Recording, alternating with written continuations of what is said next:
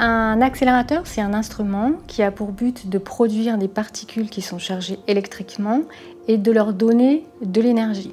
La physique des accélérateurs elle a un champ d'application très vaste, depuis la physique des particules, comme celle qui est étudiée au CERN, jusqu'à des domaines beaucoup plus appliqués, comme le traitement de certains cancers ou bien le retraitement des déchets nucléaires avec les ADS.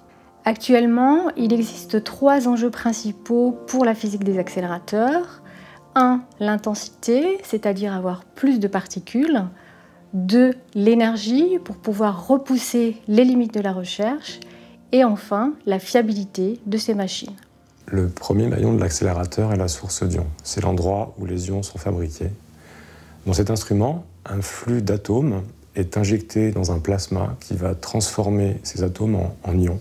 Ces ions ont une charge électrique et c'est grâce à cette charge électrique que le faisceau va pouvoir être accéléré jusqu'à haute énergie dans l'accélérateur. Ces sources d'ions ont été inventées par Richard Geller dans les années 60 à Grenoble. Ces sources ont euh, des caractéristiques extrêmement intéressantes, elles sont robustes, elles sont fiables, elles sont durables, et grâce à cela, elles ont été adoptées dans l'ensemble des accélérateurs à travers le monde. Notre activité nécessite des compétences euh, transverses dans de nombreux domaines de la physique et de la technologie, comme par exemple les techniques du vide, l'électromagnétisme, la haute tension, le contrôle commande, etc.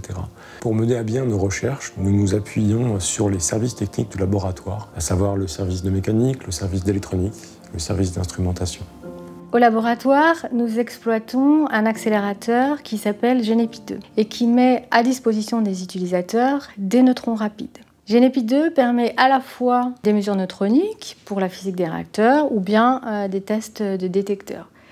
Mais c'est une installation qui permet aussi d'avoir des applications industrielles, notamment dans le domaine de l'étude de la résistance des composants électroniques. Ces études sont particulièrement importantes dans le domaine spatial puisque les composants électroniques sont soumis à de très forts rayonnements cosmiques. Et ici, Genepi 2 reproduit les effets de ces rayonnements sur les composants bien plus rapidement que dans les conditions réelles. Actuellement, Genepi 2 est une des seules plateformes de neutrons en France qui soit ouverte à la fois à des expérimentateurs et pour des applications industrielles. Dans la thématique des ADS, par le passé, nous avons développé plusieurs accélérateurs de basse énergie, notamment pour la maquette Guinver qui est exploitée en Belgique. Actuellement, nous travaillons sur l'accélérateur pour le prototype d'ADS Mira. Donc il s'agit de passer de l'échelle de la maquette avec un faisceau de 250 watts vers une échelle beaucoup plus puissante avec un faisceau qui est au-delà de 2 MW. Le faisceau de forte puissance doit impacter une cible qui est située au centre du réacteur nucléaire.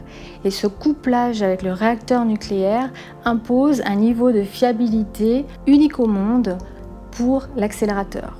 Pour Mira, le LPSC a développé les tout premiers mètres de l'accélérateur afin de maîtriser parfaitement les paramètres du faisceau dès sa création, ce qui est essentiel pour le transport dans le reste de la machine.